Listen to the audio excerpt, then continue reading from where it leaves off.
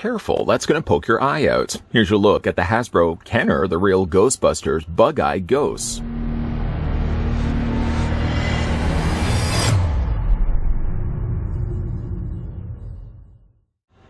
Hit on the middle back for eye-popping action.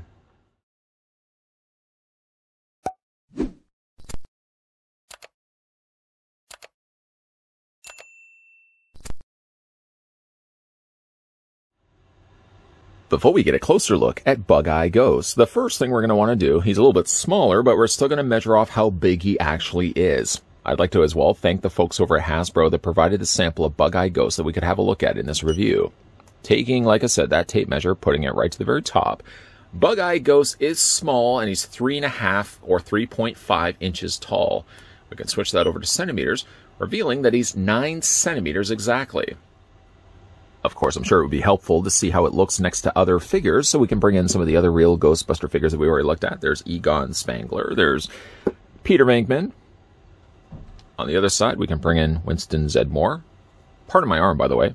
There he is next to Ray. And I guess as another comparison too, sorry, we'll just move these other two over to the side. We can also bring in the previously looked at as well, Fearsome Flush. Give you guys a good idea.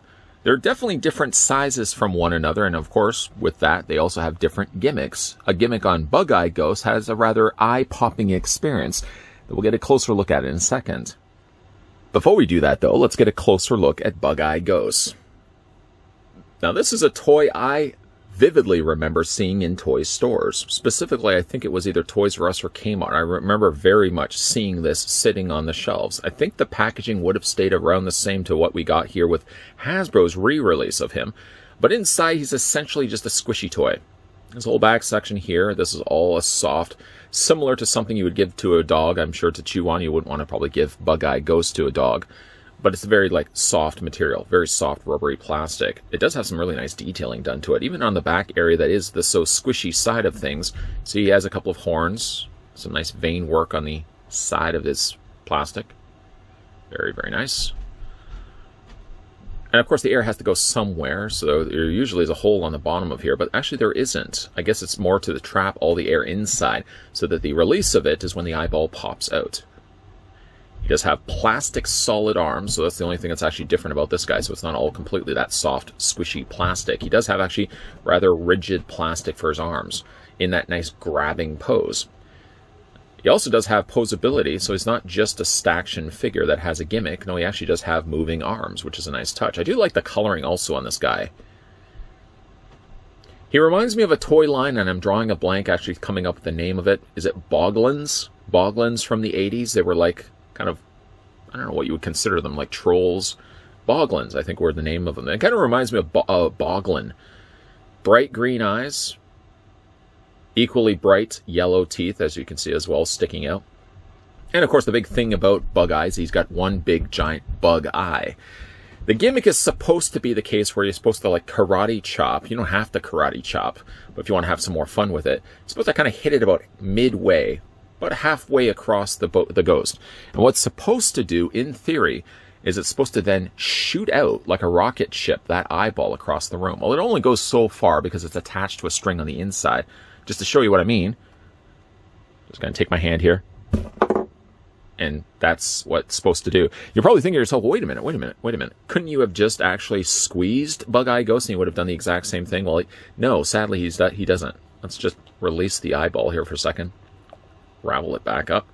If you just just squeeze it really, really hard, it doesn't seem that like it has enough force behind it. You again literally have to karate chop it, or just push down really, really strong in a very abrupt, rough moment, rough action, and it pops in and then the eyeball out. The eyeball actually inside is a solid, not quite solid. It's actually two halves. You can see have been sandwiched together it's got some nice vein work on the outside there, and it's attached by a string.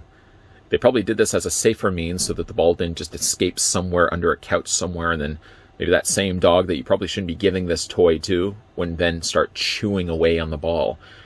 And then, of course, there's the inside of Bug Eye. You can see it's tied by a knot on the very back of the toy. When you are putting it back together, you're just going to snake spiral it way back into the body and then just push it down like that.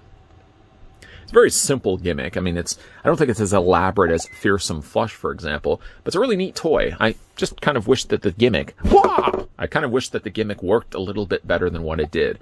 Now, me, I'm considering myself a somewhat average build, an adult who has some strength behind, I think, what my swing is on my arm. I can imagine a kid having a little more difficulty to this. I wonder if kids just eventually just said, oh, forget about it, and started stomping down on it with their feet, springing then the eye out. The other means I guess they could probably have done is just put like a little lever or button on the back that had a spring on the inside, but that's something probably not something you want to be, you know, be a little bit more difficult, I'm sure, back in the day. There's always the hazard that, of course, this eyeball would spring out too hard and end up hitting some kid in the eyeball. Probably one of the other reasons why there's a string attached on the inside of it. Some of you may have laughed when I described the action that one should make as a karate chop in order to release the eyeball from the socket of Bug Eye Ghost. Let me just now draw everyone's attention, if I can, to the bottom left corner of the package artwork there. This is vintage package artwork, by the way.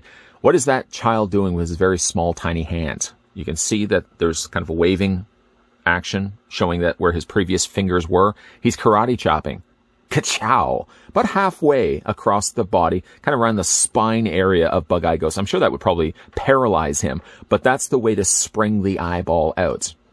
You'll also see something that I failed to mention in this review that I can actually kind of hopefully rectify a little bit. Bug-Eye Ghost apparently can also hold his eyeball in his hand. I find that really disturbing.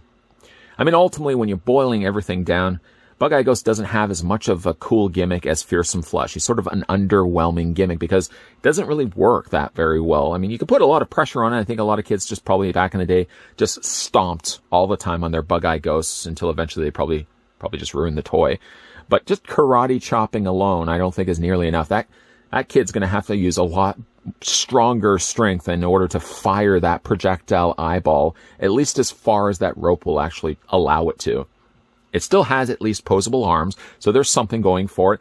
And you know what? Even though it really is just a glorified dog toy, it's not that I'm really saying that dog toys are a bad thing, but I mean, just the fact it's squishy. Short of the fact it doesn't go when you actually squeeze it, it's basically just a, a, squishy toy with posable arms, but it does have some really nice paint going for it as well. It is basically just boiling down to trapped air.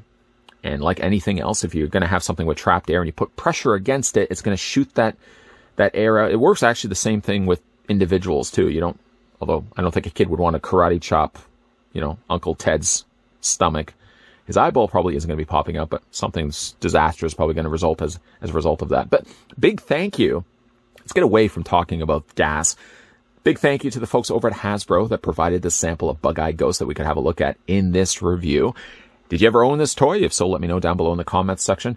Um, I never had this one, but I remember very vividly that it was at Kmart. That's the place where I saw so many of the real Ghostbusters. G.I. Joes were basically lining the shelves across the sideways, well, across the length of the shelf and on the very end of the shelf, like the end caps. Used to work retail. The end caps would have been all the real Ghostbuster stuff. That's where I found the ghost trap. Went back again. I had the money in my hand and it was gone.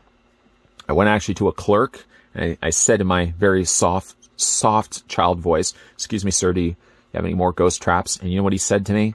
He said he didn't know. I don't even think he would even bothered looking in the back. He was off to lunch. This little punk kid walked up to him, asked him if there was another one of these things. He had no time for that. He, anyways, that's the, that's my takeaway memory from that. I asked the guy and he said, I have no idea. Good times.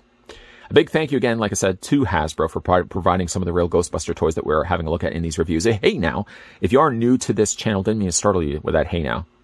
If you are new to this channel, enjoying all the content you're seeing, be sure to hit that subscribe button down below, turn the bell notification on, and if you do so, be so kind, if you be so kind, make sure you're coming back to this channel because we are going to be looking at some more real Ghostbusters toys. Yay! We are going to be looking at the Ecto 1 too, and I'm really super excited to have a look at that. Lots of stuff coming your way, guys. So as always, thanks for watching. See you guys next time.